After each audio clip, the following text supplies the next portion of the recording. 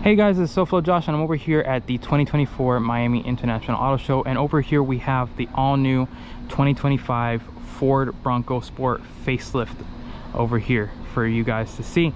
Um, now the Bronco Sport actually hasn't really gone a whole lot of changes.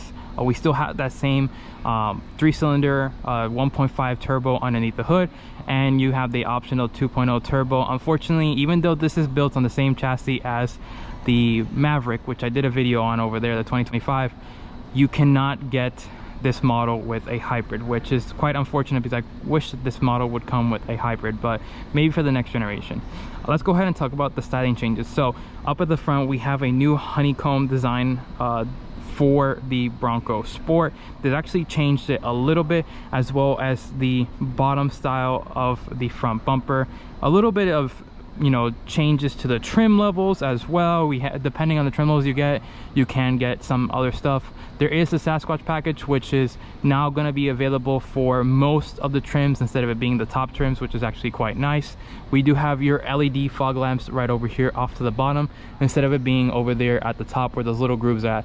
As you see they kind of put like a little design to you know replace where uh, the fog lamp is. On the top we still have the same exact full LED headlight design with the turn signal and your DRL, which is really nice. I quite like the Bronco Sport design philosophy. You know, you got what we have on the big Bronco and then we kind of minimize it.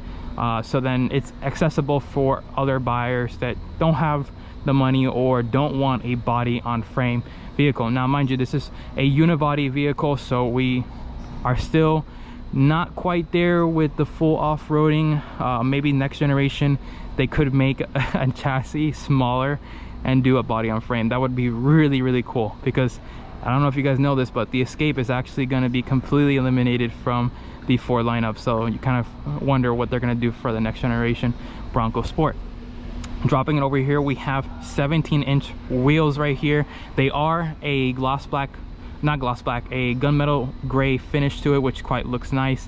Um, they do have the Continental Pro Contact TX which is great. I actually like the design. We have different rims uh, to choose from depending on the trim level that you get but I do like the gunmetal gray finish and they kind of have a really nice you know uh, different spokes actually in it you know like different pattern spokes all across got the big bend badge right there. And then if you were to get the sasquatch package you or i believe you can option this in whenever you purchase it. Mind you uh, i haven't been able to build one out of the new bronco sport but there is a hook on these side fenders that if you have anything on the top rack area you can actually uh, strap it down here instead of having to open up the door and then putting a strap throughout the whole entire top of the headliner over there which is really good that ford thought about that. Very very intelligent by ford. Ford has been killing it lately with their uh, designs and uh, you know making more features accessible for people who have these little things. You know a canoe can be up there and if somebody has it strapped in there it can get loose uh, especially since it's you know getting caught by the door jamb now having that little strap area there is fantastic. Over here to the rear not a whole lot has changed. They have changed a little bit of their rear bumper design area. Um, over here we have the pre-facelift one. As you see the reflectors are on the bottom. The reflectors are now brought up over here to the top. And then you have those same grooves that we saw up in the front carried on over here to the back.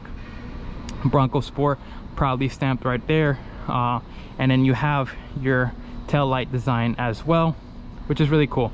You still do have the split style window area where you can uh, lift up the window or you can go ahead and lift up the tailgate all in all.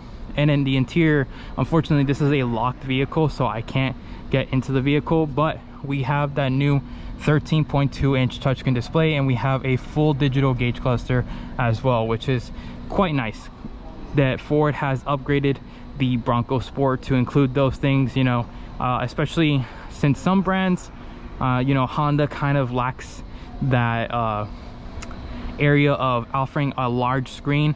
And i mean quite frankly we're about to go into 2025 and they have seven inch screens or eight inch or nine inch screen. This is a 13.2 inch touchscreen display. But all in all i quite like the little upgrades that they've done. Uh, like i said they do have the same 1.5 turbo engine underneath the hood and the same 2.0 turbo under the hood as an option. They only come in all-wheel drive so because it is a bronco sport these are off-road vehicles. Um, and unfortunately like i said no hybrid system available for this model.